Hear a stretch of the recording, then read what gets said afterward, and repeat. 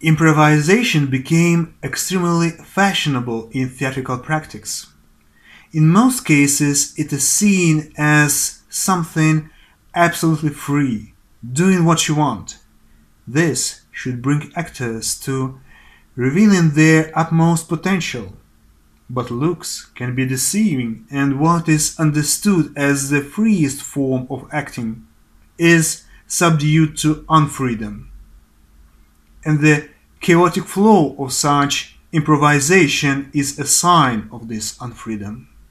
People's mind and psychics, and actors' mind and psychics either, function in such a way that new things and improvisation among them can't be performed without certain restrictions and patterns to be based upon.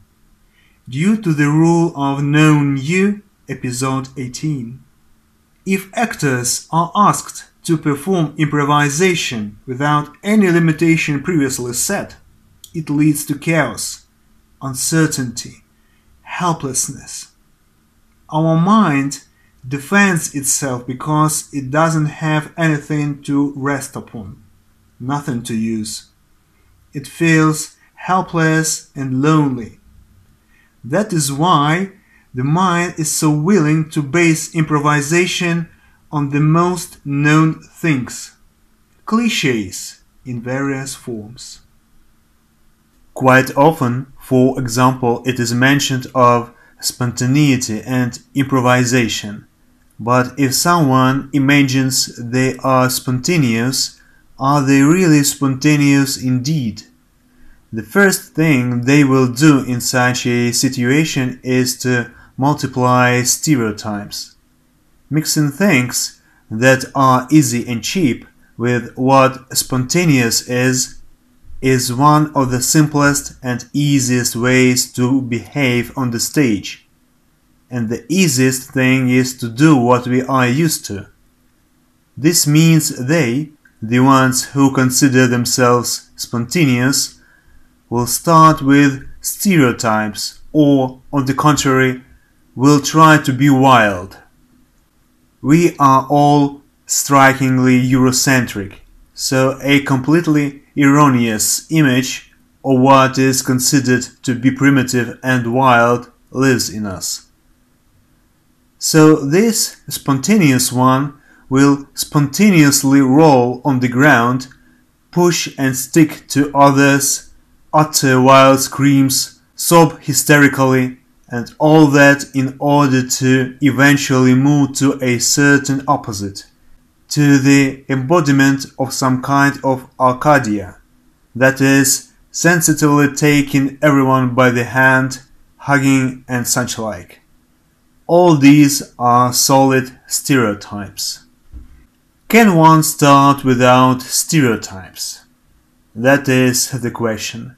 Until now, I have not achieved anything like this in my life. You always fall into this or other stereotype.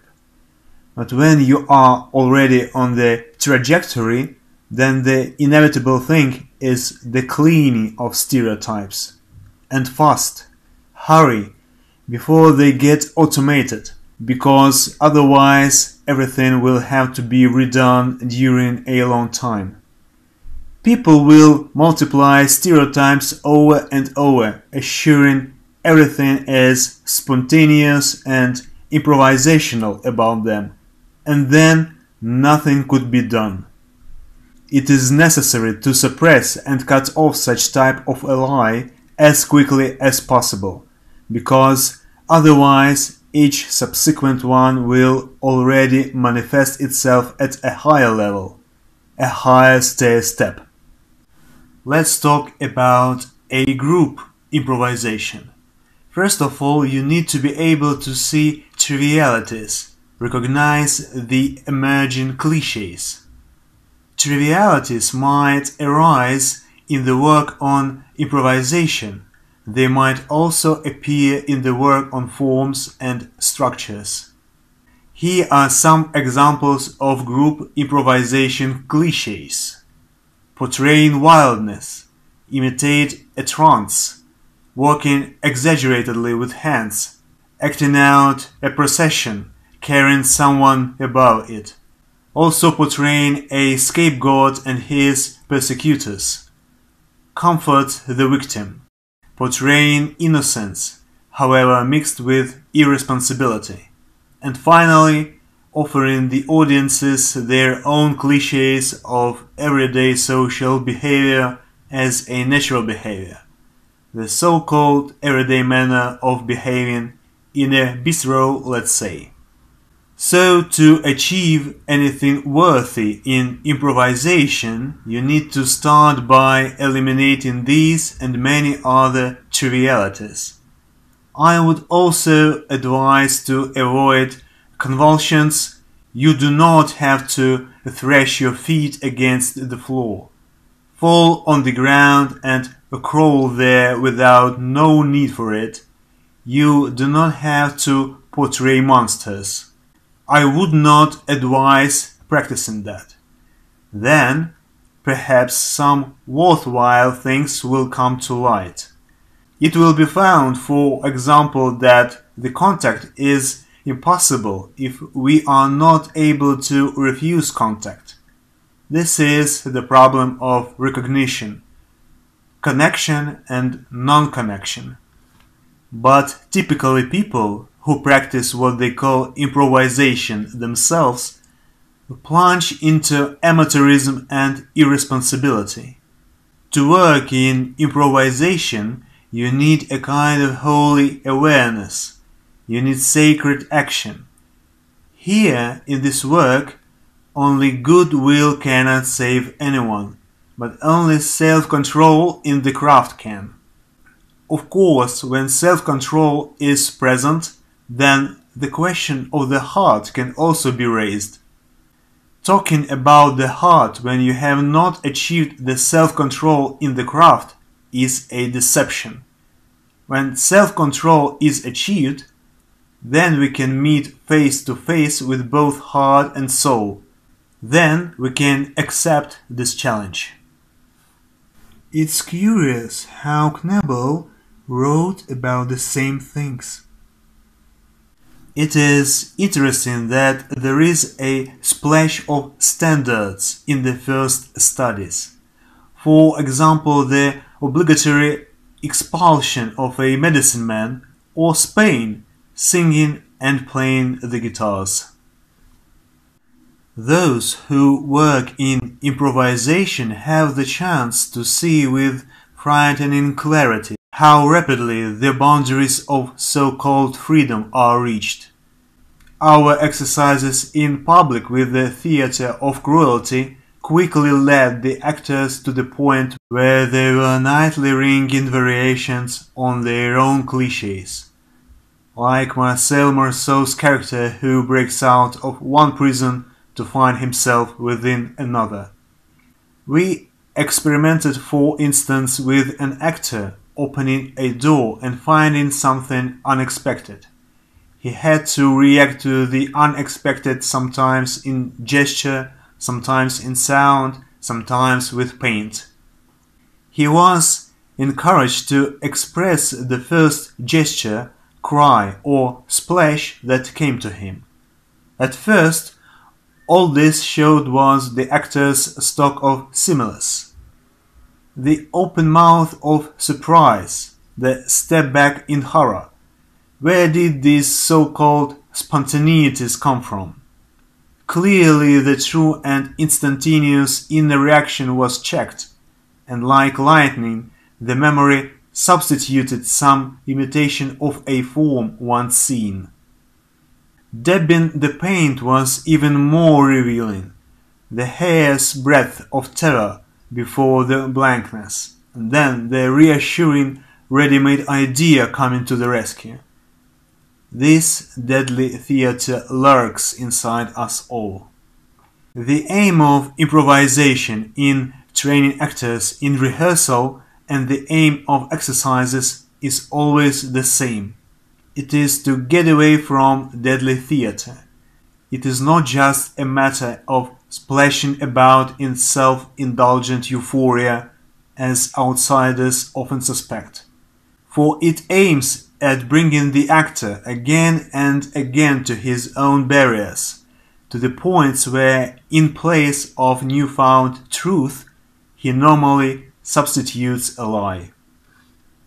However, there are some specific acting exercises, beside performances and rehearsals, that practice wild, pure improvisation, aiming to free actors from psychological tension and blocks, to teach actors how to follow their creative impulses. Of course, such exercises must not use cliches as they didn't free of anything. The whole process needs to be supervised ultra carefully. Improvisation, as we know it, comes from commedia dell'arte, yet there it was mainly limited by a character mask or a so-called kernel. A character, let's say Pantalone, had to react to different situations and spontaneous progress of a show, not losing Pantalone's essence in any circumstances. Drawing on the principles of commedia dell'arte, it is improvisation based on a plot scheme. It should be built according to the principles of the comedy of masks, an approximate scenario and a free game improvisation. Actors must be able to play the artistic image in all positions, not only in that passage from the character's life which is given in the play. This passage is only a particular thing, and you don't need to play it. You need to play a general one. Actors should not know what will happen to them when they enter the stage. They must go on the stage as we go to some kind of conversation, to a meeting in our lives. And when you study on your own, you should not edit a play given you generally need to learn how to evaluate facts. Actors should be trained in such a way that before the entrance they could have been told things they should play, their past, relationship to others around, and objective, and they could be already playing. Feelings, words, etc. flow. That would be a real commedia dell'arte. This is the ideal. However, commedia dell'arte has always been conditional. Until now, not a single actor has dared to perform without an author, without words being memorized, not in a conditional role, to play a characteristic role as improvisation. Understand that preparing a role does not mean rehearsing the piece. Preparing a role means looking for the relationship that is necessary for it within yourself. Not all actors have the same attitude to different kinds of constraints, but they all need constraints, even the actors of Italian Commedia dell'arte even if they were free improvisers, saying what they wanted, entering the stage not knowing in advance what they would do there and how the action would develop. Today it could end in a wedding and tomorrow in murder. Complete freedom, as it may seem, the same as in life is, without any prior schedule. Yet they needed one constraint a Mask, Harlequin, Punchinello, Columbine, etc. Their theater was even called the Comedy of Masks. As you can see, it is impossible without constraint in art, and it turns out the freedom of these improvisers was relative as well. So many great directors and artists claim one thing Improvisation to be real and true should be limited in some way. As Meyerhold said, the improvisational state in the iron riverbed of action. This iron riverbed denotes aspects of all kinds. I mean, improvisation might be limited by different things, by a certain idea, a theme, a character, fixed text, action, mise en scene, given circumstances, etc. Basically, we need two ingredients the improvisational self feeling or sense of self, meaning an actor's self that is eager to improvise and live, and a restriction of some kind. As an example, one may encounter the difference between improvisation, which is manifested randomly, and improvisation, which acts as a repeating adjustment, readaptation to a particular structure, that is, harmonious improvisation. An amateur can do a pretty thing more or less superficially with the help of this kind of nerve excitation at the level of the first improvisation. But they will sculpt in a haze, and like a haze, everything will wisp. A dabbler searches at the sides. In our art, much is done by the way of improvisation on the same theme, firmly fixed. Such creativity imparts freshness and spontaneity to a performance. Our exercise does not pursue the goal to deviate from the final version of Griboyedov's text at all costs, to make an admiral out of a general. This is a draft too primitive for Griboyedov. I am counting on more. In your improvisations you ought to reach the root, the main idea of Griboyedov, the thought that made him write this piece of text. All these Vakhtangov's requirements made actors immensely responsible for their slightest performing manifestation on the stage. It was no longer possible to reveal the content of inner life as it was revealing itself. Everything was now fixed and cast into a precise embossed shape. Only later, when everything was done, the actor was again given the right to improvise movements, gestures, intonations, in accordance with the requirements to which the form or the performance is subordinated. Thus, the actors got the right to improvise adjustments only when there was a guarantee that they had so firmly mastered the principles of playing in a given performance that their improvisation would not go beyond the boundaries of these principles. Vakhtangov called this ability to improvise one's adjustments with a sense of their responsibility for them, that is, subordinating them to the requirements of form and skill, a stagism. The attitude was set. The actors freely improvised. It gave them the joy of comprehending new characters, relationships. Humor resumed. We have once again made sure that an improvisational basis is necessary in the correct search for the nature of feelings. And this improvisational basis is different every time, completely dependent on the given play's world. Actors' improvisation cannot and should not be purposeless.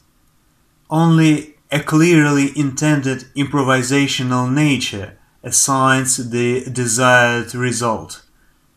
No matter how far an actor has moved away from the play's text improvising, the director and the actor build it on the basis of given circumstances selection, extracted from the material of the play and the author's conception.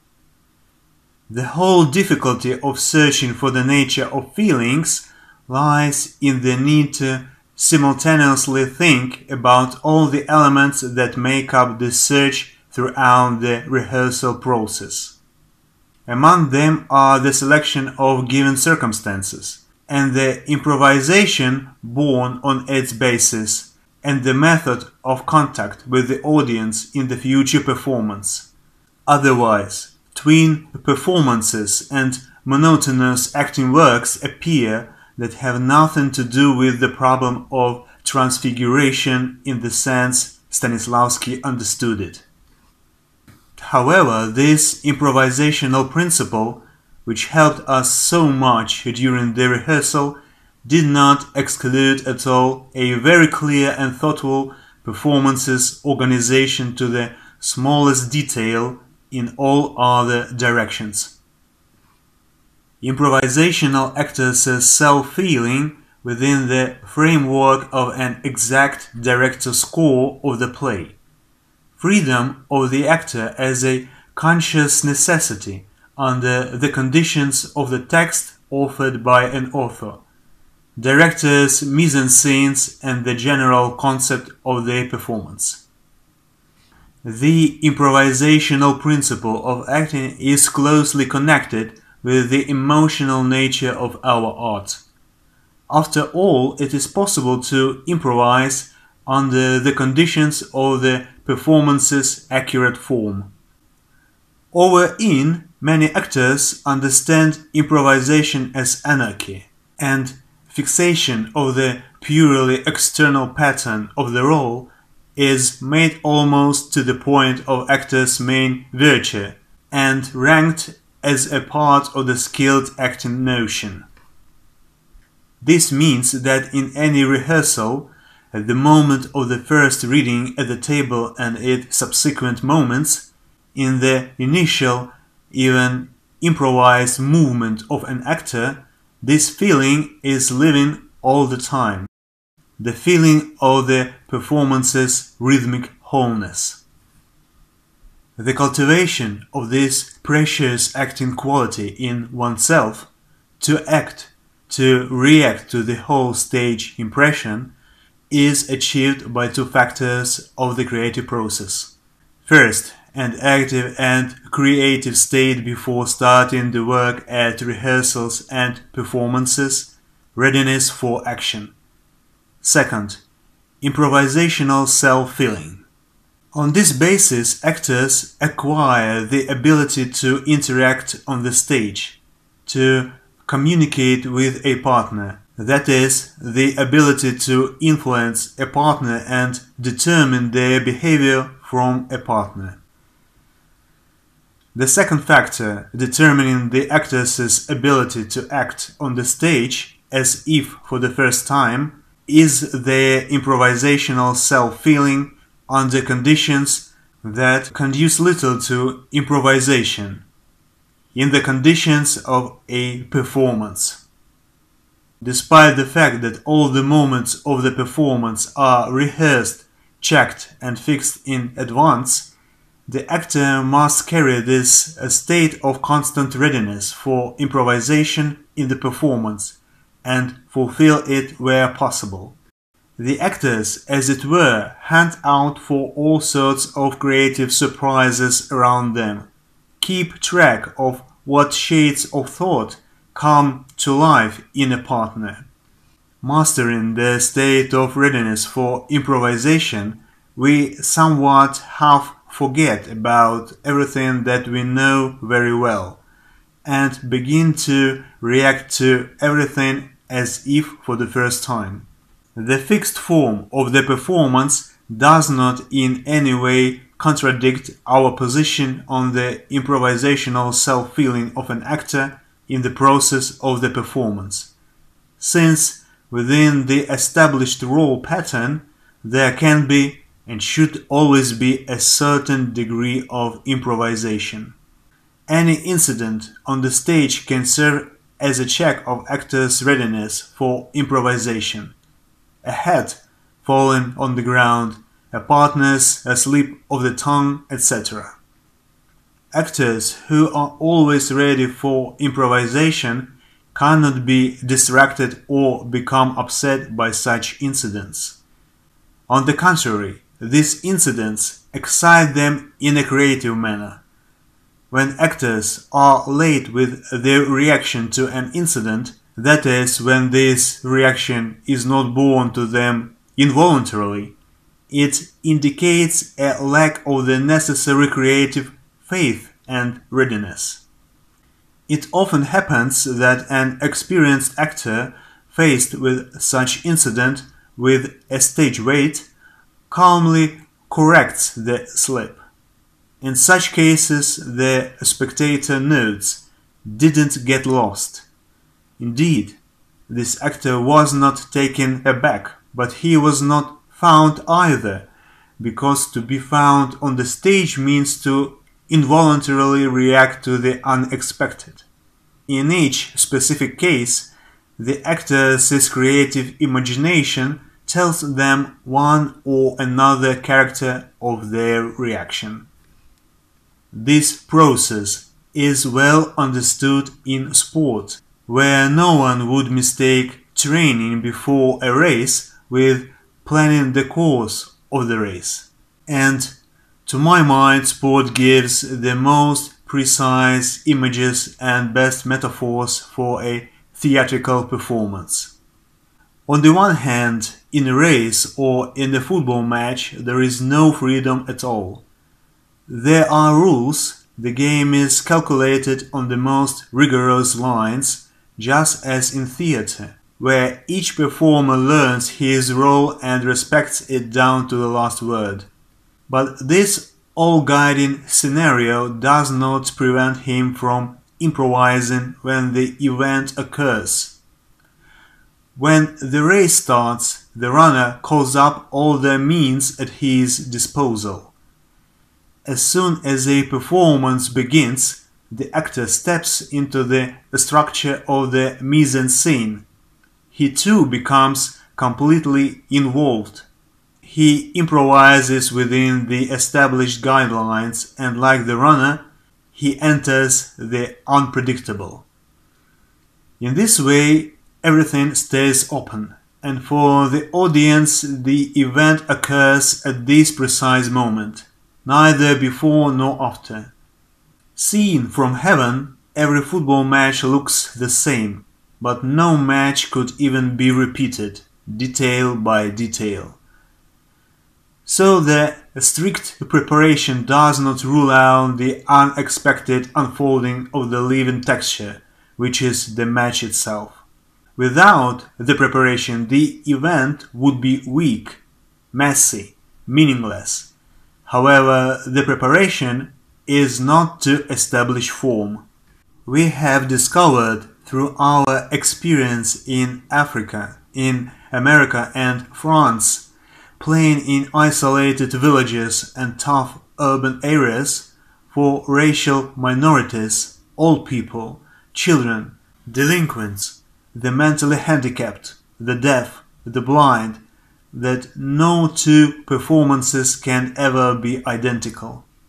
We have learned that improvisation is an exceptionally difficult and precise technique and very different from the generalized idea of a spontaneous happening.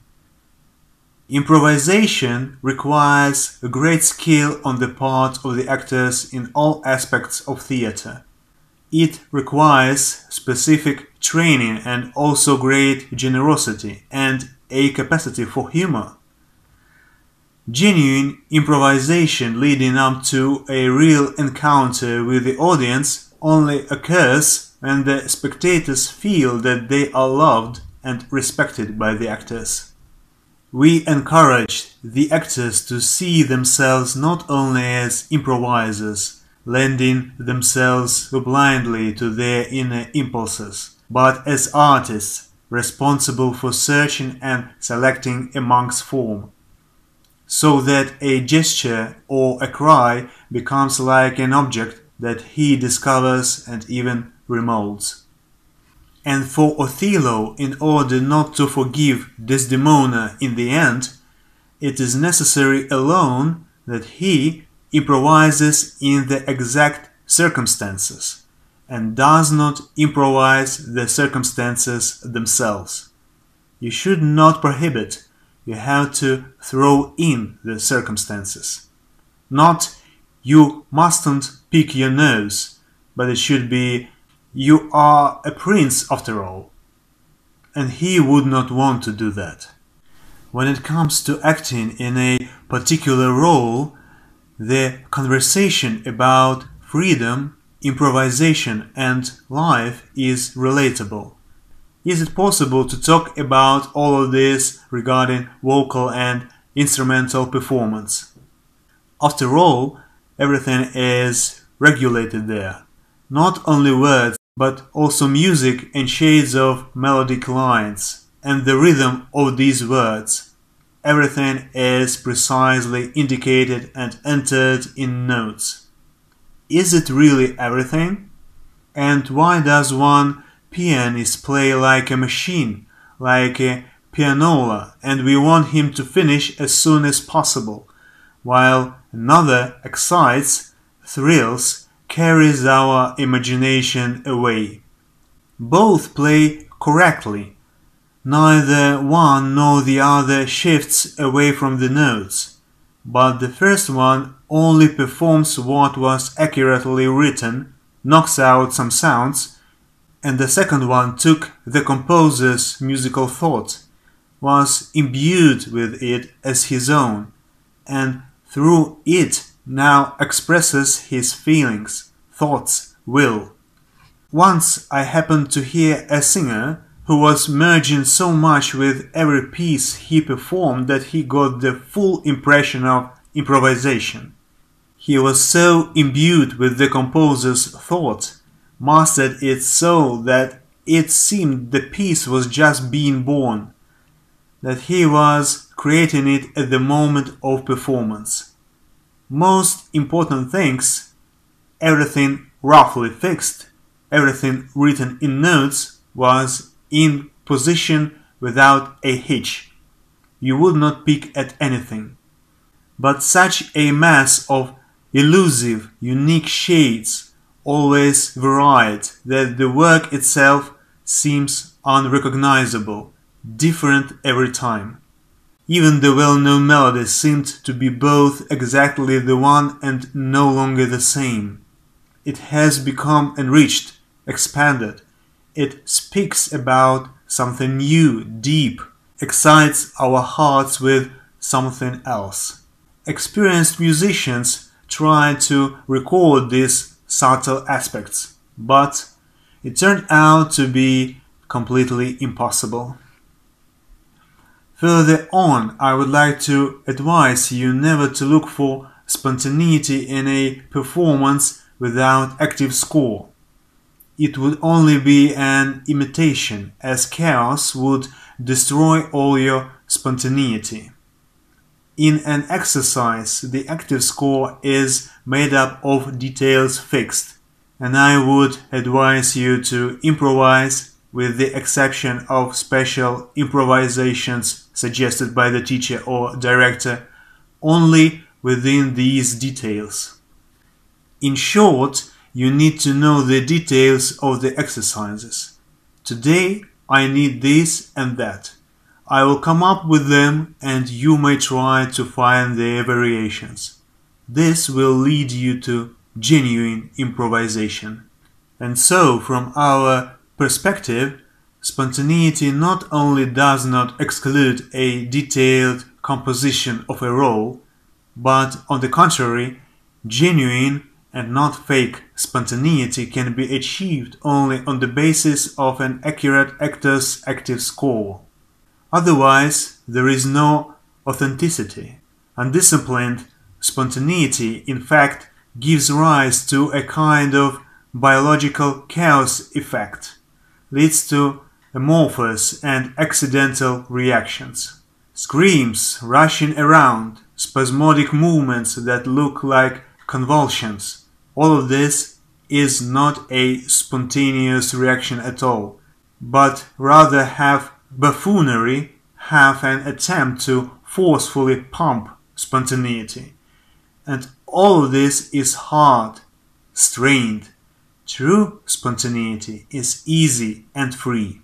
This is the problem of a special bringing out. Through a multitude of details, a stream of human impulses and reactions purified from any chance event as if to the very core. As a result, a stream of signs drawn by the whole organism emerges. For actors, this stream becomes a kind of an active score, a launching pad or a springboard, starting from which they can mobilize and put into action their deeply personal, intimate impressions, a whole range of their life experiences, and playing this way create every day the same score with themselves, with all their being, with the integrity of their spiritual and physical capabilities. And this means improvising not externally but internally around prepared motives, personal themes. This is exactly what I mean when I speak about spontaneity, born out of the spirit of order, out of regulation. Improvisation. Impulses. Vigilant consciousness. Improvisation within a framework. One of the most interesting peculiarities of Chekhov's improvisations was that the actor never changed either the text or the established mise-en-scenes. He could not sit on a chair not intended for him, and if he did, he knew how to free it in time. Sometimes he really knocked the partners out of the strict track of the performance, but only with the unexpectedness and brightness of the adjustments. His improvisations did not create chaos, they only called upon others to create just as freely as he did. Proceed to short improvisations trying to maintain the sense of form as you play. There can be many beginnings and ends in improvisation. Try to fleetingly mark them in your mind. Avoid harshness that can creep into your exercises. This might happen, however, only if your idea of form becomes too external. The living form does not originate outside but inside, in the soul. Now, imagine that between the initial and closing moments, you have set another transitional moment in the middle. In the process of improvisation, nothing would change for you of it.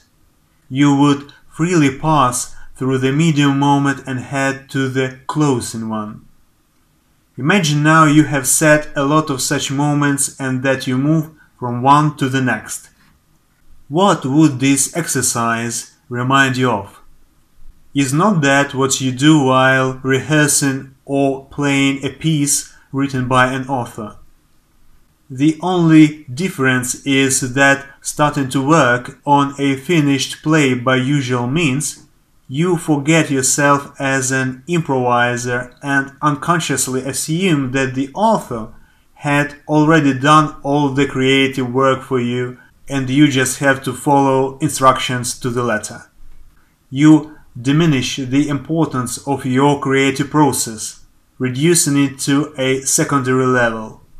But if you eliminate this purely psychological error, and develop your ability to improvise through exercises, you will soon come to the conviction that theatrical art is unceasing improvisation, that there is no moment on the stage when you, as an actor, are deprived of the opportunity to improvise.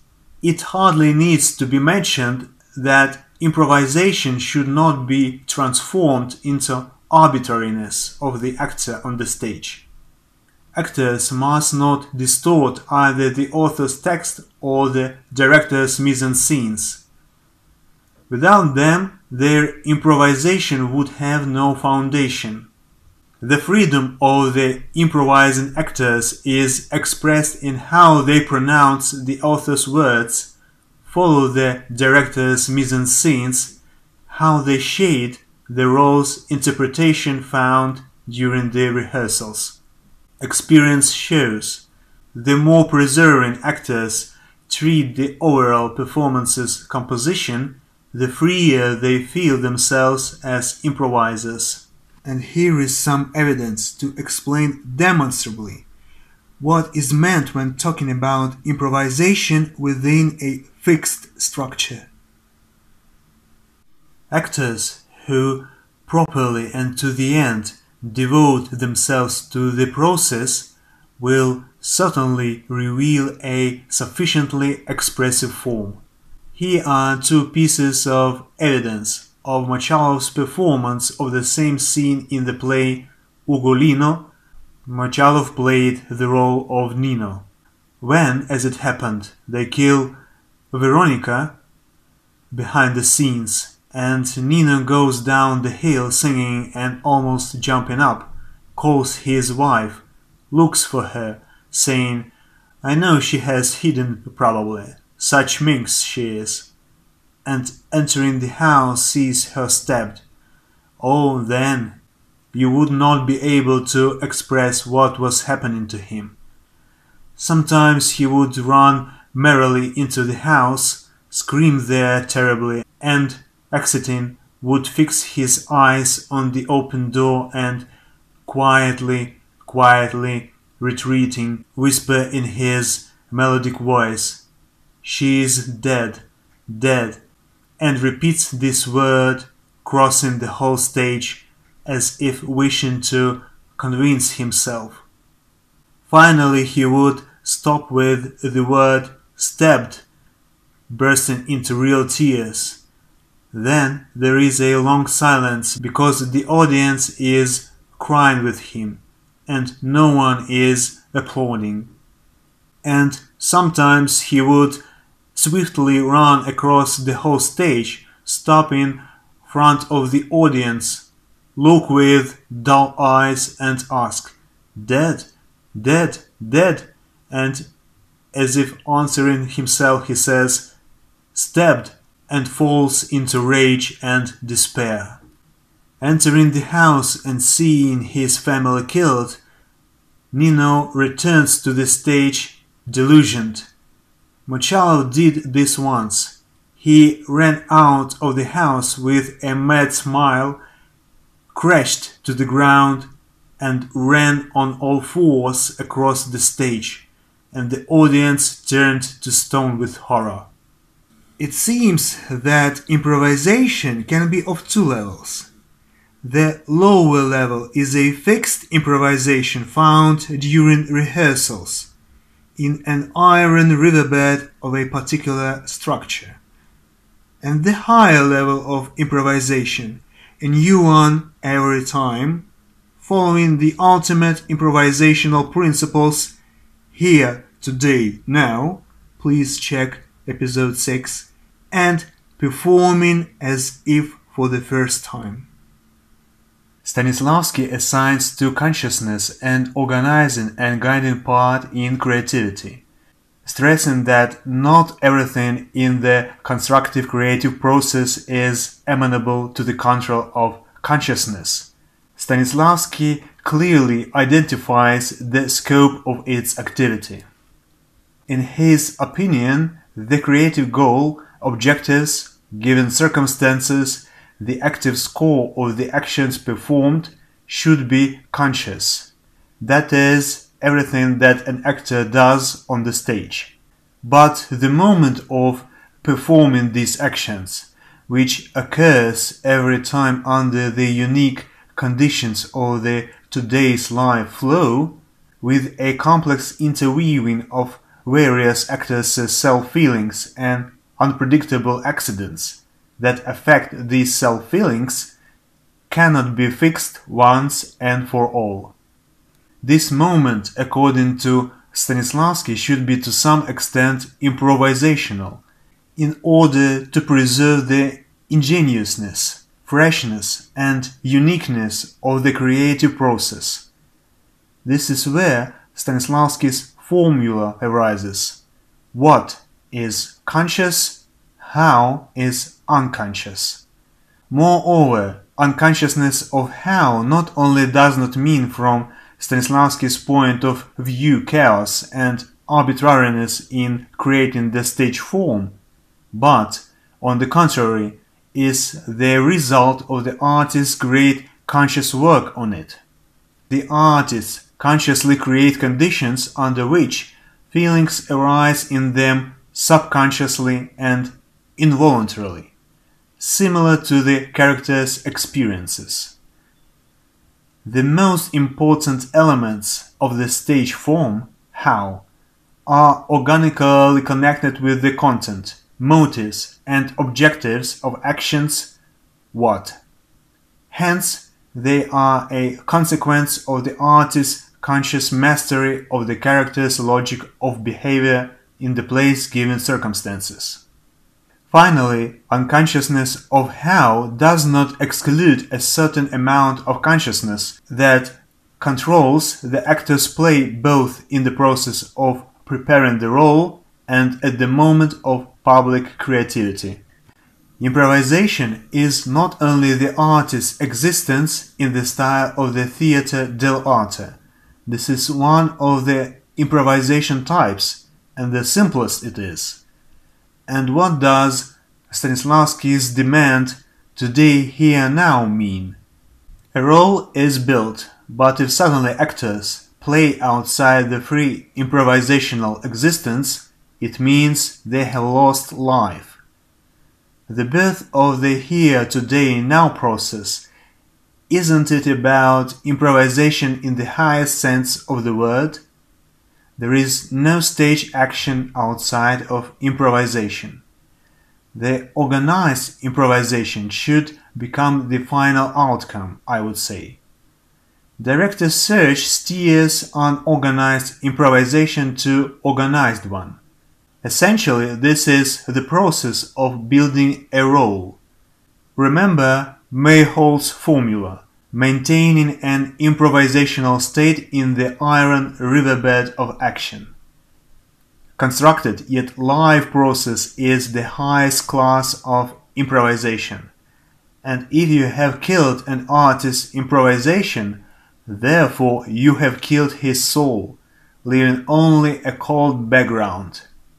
I paid special attention to the creative connection between actors and their audience, the actors who create today, here, now. Our task is to involve spectators into creative process, but without an actor's improvisational self-feeling, it is impossible to achieve such connection with the audience. The culture of the actor's improvisational self-feeling should be one of the main tasks of modern theatre. Any most directorial performance admits an actor's improvisation. This is specifically the strength of the theatre.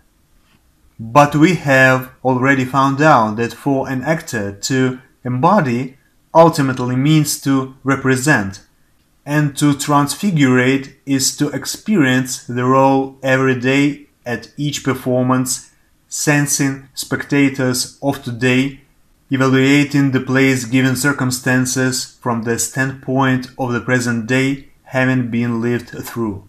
That is, to creatively improvise in the most accurate and strictly established performance's active score. It is no coincidence that Stanislavski says that if actors sweat, they are not artists then. And here, of course, the question is not only in physical sweat, but in the ability to achieve one's intention with the utmost ease and simplicity. Still, this ease is the result of hard work. To reproduce everything that has been found, everything predetermined in advance with such an effortless ease and improvisational freshness, as if all of this arose just now, this very minute, in front of the spectator's eyes, this is the fundamental and most difficult skill in our acting mastery. The creative ability, as it were, to move back from everything that is perfectly known and to feel everything, to perceive it as if anew, supposedly for the first time, is the most precious quality of an actor. The more in detail, the more actively the play's active score is developed, the more active and richer the improvisational principle of acting should be. Improvising in the conditions of the things required is the way of true art. No matter how elaborated the play's active score is, still an actor has numerous opportunities for improvisation, and they remain so. But if this is not the case, a boring reproduction of what was planned, what was agreed upon, begins. The work of a great skillful artist on the stage always gives the impression of spontaneity, freshness, as if all the actor's actions have happened by accident just now. Such spontaneity is the outcome of great efforts. To hide the traces of such work, to remove sweat from art, is the master's task. The ability to improvise, to forget everything that is known, the skill to forget everything that the partners have agreed upon upon which they have agreed with the director, etc., and a kind of as if for the first time recreate everything anew, exactly this ability makes a great master out of an actor, a great artist on the stage. Outside of the skill, we see either a dabbler who is not capable of anything at all, or pseudo-masters who point with their fingers at everything they do that very moment. And pay attention to how I did it. Did you all see? Did everyone get it? Otherwise, I can show it again. This is, at the best, childhood disease of mastery. Improvisation is not only the way of self-feeling of a trained actor's stage existence, but also the heart of two acting methods the method of studies, episode 15, and the method of active analysis, which is both directorial and acting investigation or analysis by the means of action, dealing with facts and events, characterizes super objectives, and up to most subtle aspects of their relationships, thoughts, inner world. The Stanislavski's method is aimed at waking up the artist's lively nature through action and activating the work of the subconscious. It creates the artist's improvisational self-feeling, tells them true and truthful deeds, and makes their stage behavior alive.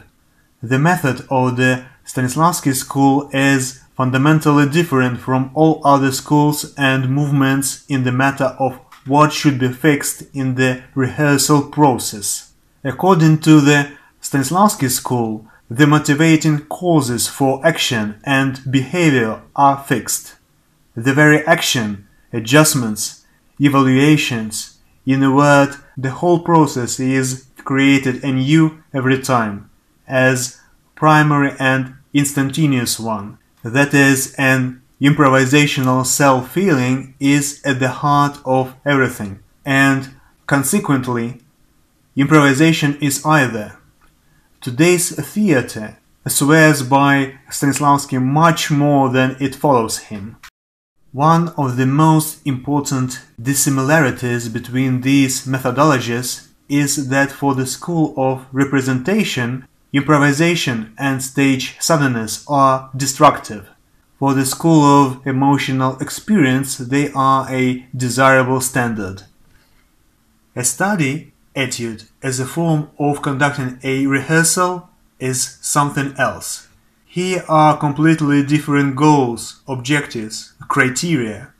It means that an already relatively experienced performer who is able to act improvisationally in given circumstances, who mastered the organic nature of the stage process, having analyzed the situation created by the playwright together with the director, will try to lead this situation through by passing the author's text and using all the skills and experience gained in the educational study. Thus, the subject of an artist's creative interest at the time of rehearsal becomes action, deed, conflict, circumstances, and not words behind which it is so easy to hide, which one just wants to play out in different ways.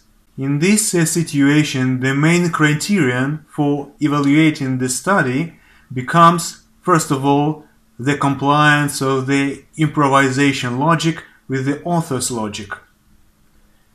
The reasons for deviation from this logic are being looked for. Repetitions of the study are necessary. They bring the performers closer and closer to effective structure, to motives of the character's behavior given by a playwright the author's text begins to be memorized by itself. Separate exact expressions. Whole phrases pop up in the artist's memory now and then. With each repetition, improvisation is getting closer and closer to that written by the playwright. I ask you to find this attitude through a study, an improvisation, and act as your artistic instinct tells you.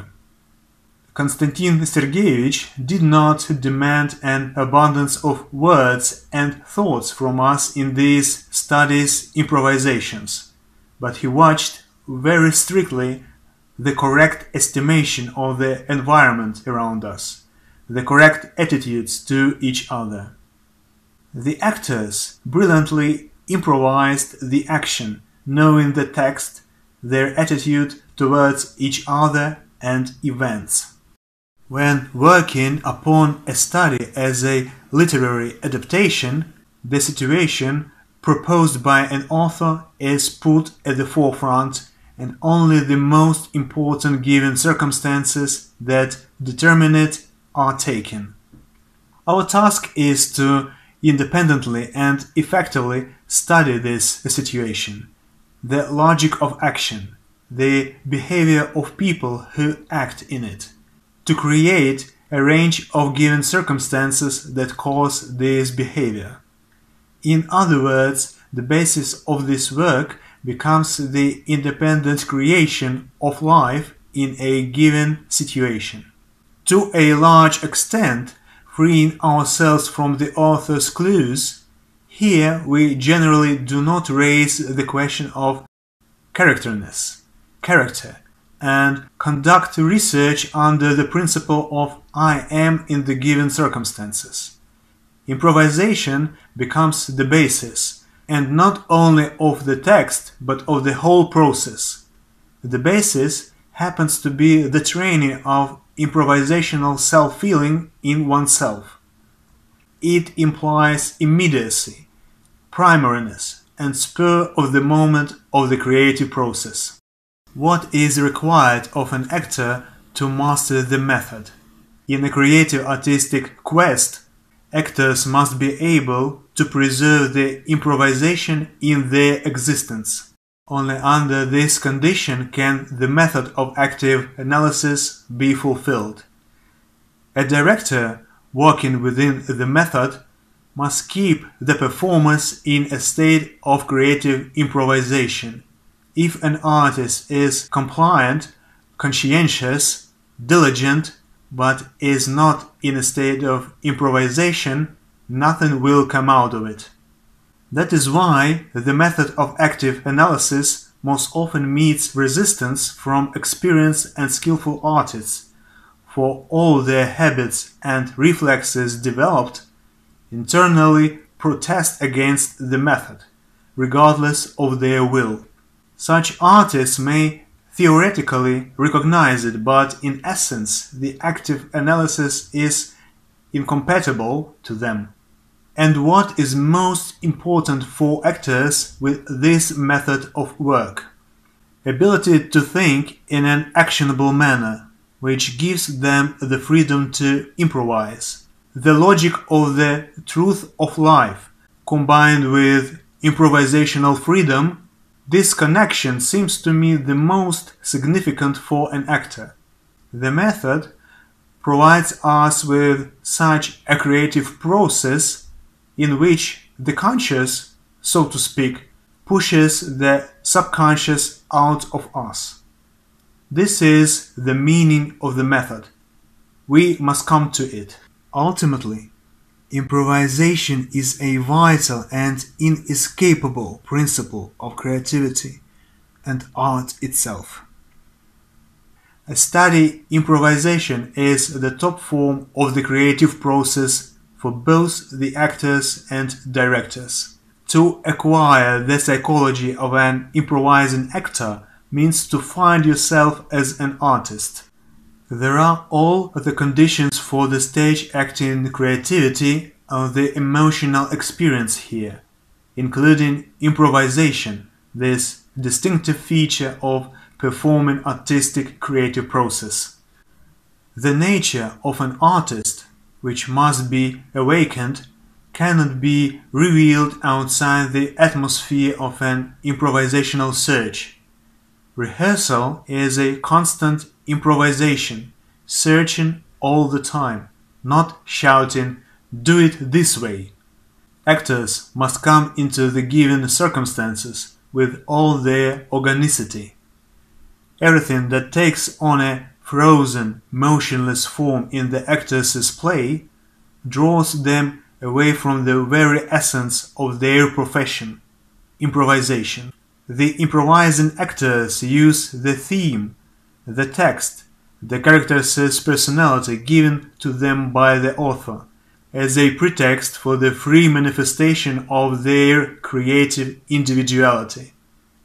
Their psychology significantly differs from the psychology of actors who are incapable of improvisation on the stage, while the latter cling pedantically to successful playing techniques they have once found, to the author's remarks, strive for exact repetition of the mise en scenes appointed to them, and consider their main task to pronounce the text given to them by the author, the improvising actors feel themselves much more independent.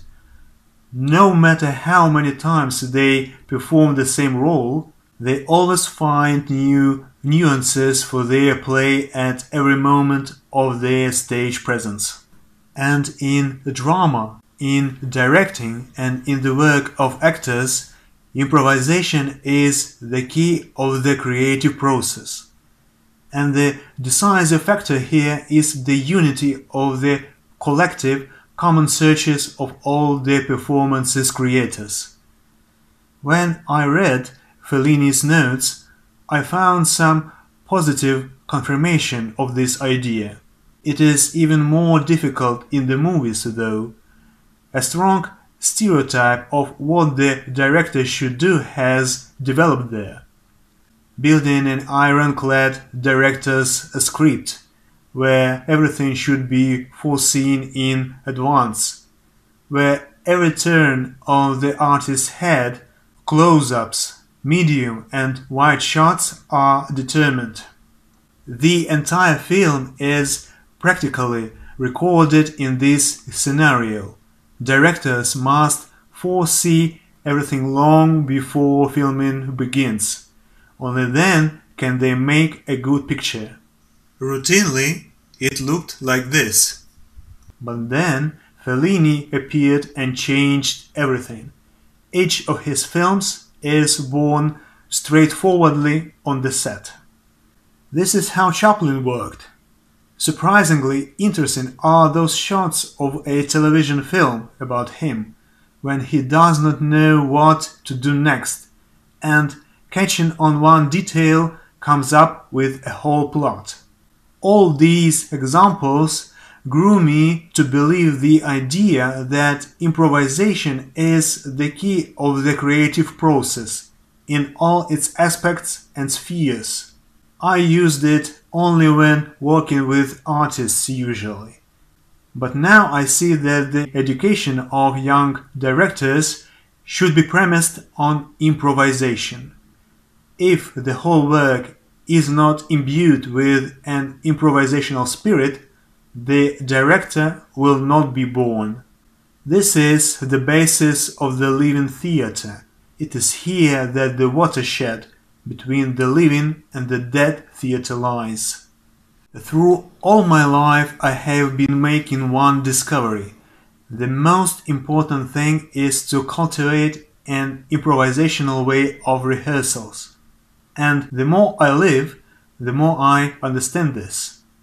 Directing talent is the ability to create an improvisational atmosphere around oneself. I have been looking for this improvisational nature in myself all my life. Improvisation is one of the most effective means that is able to save the modern stage from stiffness.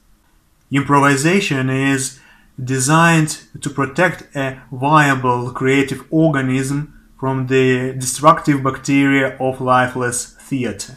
I am convinced that improvisation should become the leading principle of theatrical creativity today.